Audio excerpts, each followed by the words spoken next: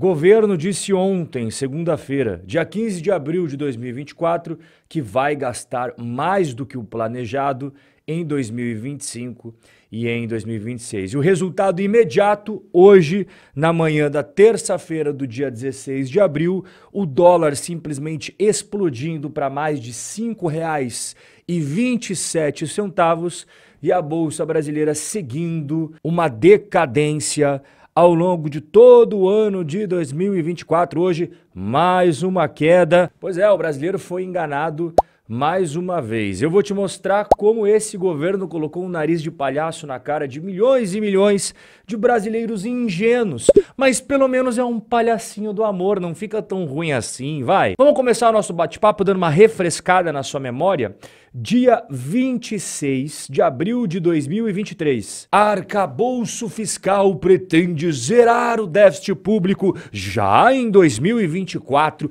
e gerar superávites a partir de 2025. Em abril do ano passado, o governo prometeu exatamente isso daí. Em 2024, nós vamos zerar o déficit público, vamos arrecadar isso daqui e gastar isso daqui é a prova que esse governo cuida do dinheiro dos brasileiros e está preocupado com o futuro do Brasil. E o melhor de tudo, meus companheiros, a partir de 2025 vai ter superávit.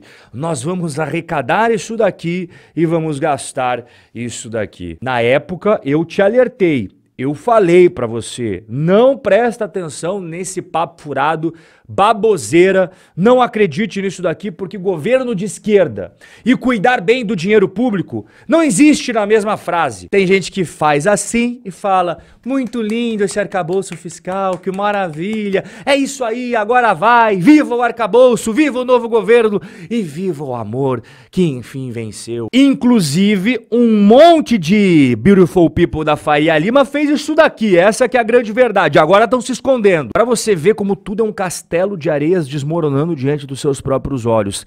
A promessa do governo não era de ter déficit zero em 2024? Pois é, os analistas já estão projetando que teremos um déficit de mais de 82 bilhões de reais. E aquele papinho de que o governo iria ter superávit de 61 bilhões de reais em 2025, pois é, isso caiu o ralo abaixo ontem quem disse foi o próprio governo Lula, que reviu a trajetória das contas e adiou o ajuste fiscal para o próximo presidente. O arcabouço fiscal que foi aprovado menos de um ano atrás, eles já estão fazendo essas correções de rumo que eles chamam, né? alterações. Quem acreditou lá atrás Pode colocar o narizinho de palhaço aí, porque não dá para fugir agora da responsabilidade, não. Os alvos foram reduzidos de um superávit de 0,5% do PIB para 0% em 2025. Ou seja, em outras palavras, aquela história de ter superávit em 2025 já era. E quem diz isso é o próprio governo, que geralmente é super otimista nas estimativas. Então, cá entre nós dois aqui, ó, a realidade mesmo pode ser bem pior do que um 0 a 0. E para 2026, eles estavam estimando um superávit de 1%, agora falaram, não, não, não, não, muito alto esse negócio aí é 0,25. E aqui vem um trecho muito curioso. 2027 e 2028, já no mandato próximo presidente, eles estabeleceram aí sim um superávit de 0,5 e 1% do PIB, respectivamente. Vai dar ruim isso daquilo na frente, alguém vai ter que consertar esse negócio. Então, o próximo presidente que trate de fazer superávites quando pegar essa batata quente nas mãos, porque a gente não vai fazer isso aqui não. A gente vai gastar. Dois se vamos gastar. Como vamos gastar? E já que o governo Lula mencionou aqui, né, do próximo presidente a partir de 2027, 2028, eu quero que você deixe a sua opinião aqui embaixo. Quem será o próximo presidente do Brasil? Será a esposa de Lula, a Janja? Será o Guilherme Bolos, o menino prodígio da esquerda brasileira, ou a direita vai assumir o poder? E hoje nós temos quatro nomes fortes aí: o Caiado, do estado de Goiás, Ratinho Júnior, o filho do apresentador Ratinho do SBT, governador do estado do Paraná, Tarcísio de Freitas, o Tarcisão da Massa do estado de São Paulo e o Romeu Zema do estado de Minas Gerais. Enquanto você escreve aqui embaixo nos comentários o seu palpite, eu vou te explicar um pouquinho melhor o que está acontecendo nas contas da nossa casa, do nosso Brasil. As contas estão indo de mal a pior, viu? Hoje, quando a gente para para ver o cenário das contas da nossa casa, já tem déficit. O governo ainda insiste. Tem que dar risada, cara, é uma palhaçada que 2024 nós não teremos déficit. Mas o mercado financeiro, inclusive vários que fizeram lá atrás, agora estão arrependidos, escondidinhos, sem contar para ninguém, estão projetando um déficit de 83 bilhões de reais para esse ano de 2024. E o que, que eu acho? Que o governo vai ficar no zero a zero, como ele está prometendo? É claro que não, pelo contrário, eu tenho convicção de que o governo vai ter um déficit em 2024. E não vai ser só esses 83 bilhões aí que os Beautiful People da Faria Lima estão falando. É mais, é bem mais. E por que, que eu digo isso? Dá uma olhada como é que está agora a gastança. O mais recente que nós tivemos foi divulgado alguns dias atrás, dia 5 de abril, referente ao déficit do mês de fevereiro, que foi simplesmente de 48 bilhões de reais. Isso foi o déficit de apenas um único mês. Quando a gente puxa 12 meses para trás e soma quanto que foi